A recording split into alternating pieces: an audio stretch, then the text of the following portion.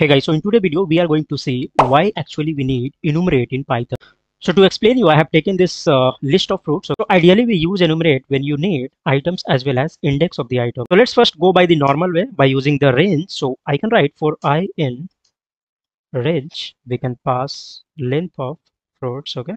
And then we can try printing i comma fruits of i, okay? So this will give you the index as well as the item. So here you go but this is not the most effective way okay? So we are going to use enumerate. So let's see how. So i can write for i comma fruit in enumerate fruits here. All right. I comma fruit. I'm going to give you one bonus tip here as well. So this will give you the index as well as the item okay? And if you want you can customize your index as well. So let's say i want to start with index is equal to 1 so we can pass a start is equal to 1 let's run it so here you go apple 1 banana 2 and cherry 3